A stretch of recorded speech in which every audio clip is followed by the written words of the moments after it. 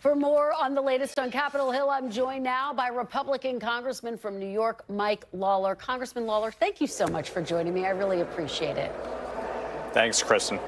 I want to pick up where I just left off with Ryan. Paul Gosar became the third House Republican to call for Speaker Johnson's ouster today.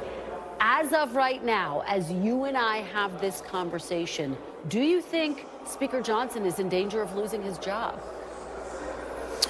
Uh, look, this is a decision for the entire House. Uh, we saw what happened in October when eight Republicans teamed up with 208 Democrats to remove Speaker McCarthy and throw the House into three and a half weeks of chaos uh, at a moment in which Israel was under attack.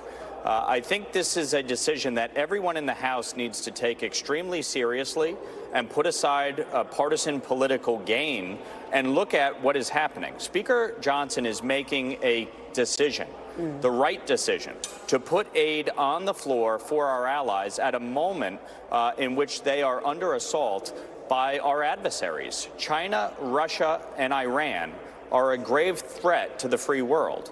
Uh, and he is doing the right thing, showing American resolve and leadership in this moment. And I think it's incumbent on the institution, Republicans and Democrats, uh, to look at it for what it is uh, and say we're not going to participate in throwing our government into chaos. Democrats talk, talk a lot about preserving democracy. This is a moment for them to show that they're serious about that and not join in the effort with a few folks on the right to upend our government. So let me be very clear with you. I mean, if it takes Democrats to save Speaker Johnson, to save his speakership, are you comfortable with that? You would welcome Democrats bailing him out? It's not a function of Democrats bailing him out. It's a function of all of us doing the right thing by the American people. Uh, this is a, a, very serious moment in our history. Uh, frankly, we are in the most precarious time since World War II. Uh, and I think, obviously, we are a very divided country. We're in a divided government. Republicans control the House, Democrats control the Senate and the White House. We need to find compromise and ways to work together. That's the only way major pieces of legislation are ever going to become law.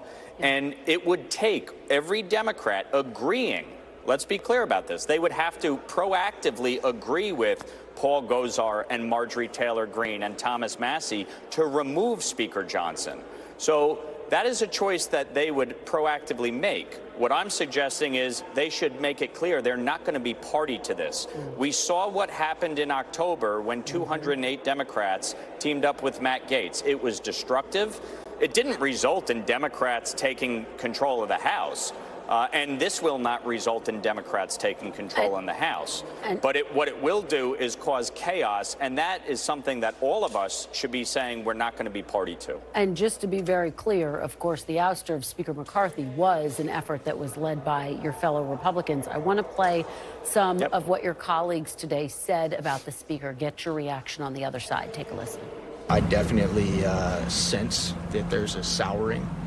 Um, you know, to Republican leadership, and not just in the House Freedom Caucus, um, with other people as well. So, um, you know, I think that the speaker should take that seriously. Well, there's continued frustration with the fact that we're allowing the, uh, uh, frankly, allowing the House to be governed by Democrats. That frustration is continuing. When you hear that, Congressman, and, and this goes back to my first question, when you hear your fellow Republicans expressed frustration with the speaker. Do you think he could lose his job? Look, obviously, there's that possibility. You have three people that have said they are uh, prepared to move forward with a motion to vacate. Uh, but what is comical about the comments uh, from my colleagues is that the reason the speaker's hand was weakened uh, in negotiations, inclusive of negotiating border provisions, uh, is because of their conduct throughout this entire Congress, their inability to work as a team uh, and pass a rule. Uh, you know, Chip Roy is on the Rules Committee and voted against the rule in committee, has voted against the rule on the floor. Mm. Eli Crane voted to oust Speaker McCarthy. For, so for them to cast blame on Speaker Johnson or uh, Republicans uh, within the conference who want to govern uh, is comical.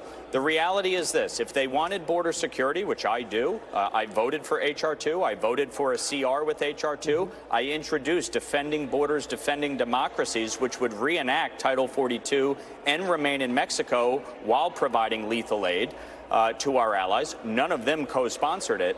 Uh, they have done everything they can to undermine our ability to uh, negotiate from a position of strength. And that is why there's not border uh, security in this package.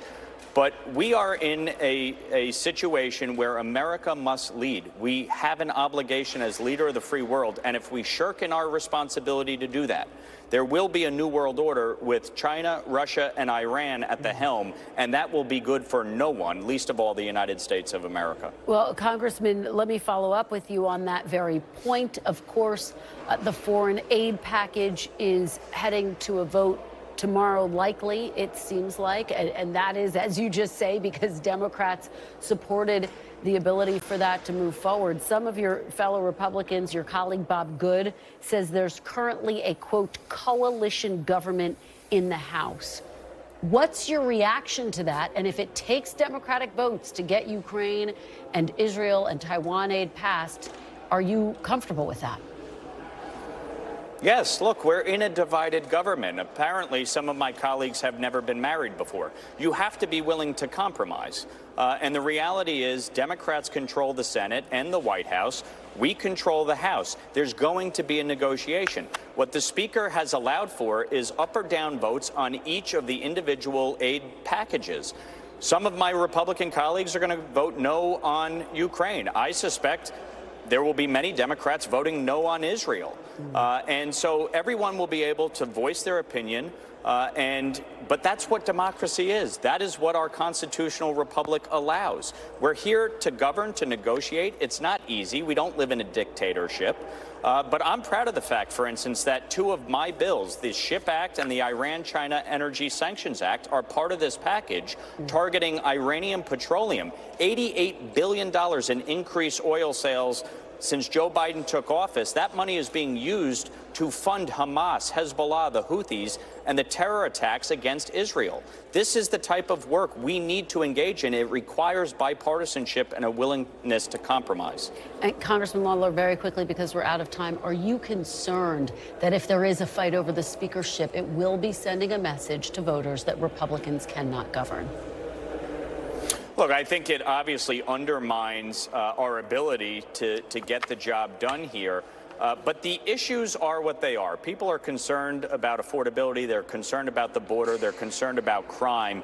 I'm not concerned about the impact on the elections because the reality is voters will have distinct choices in each of these districts. I know in my district, I'm running against Mondaire Jones, a radical progressive who believes in open borders, who called ICE agents racist, who wants to defund the police. So I'm not concerned about the consequences of this. This is more about our government uh, and the American people. All of us, Republicans and Democrats, have an obligation to govern. Let's pass the aid package tomorrow.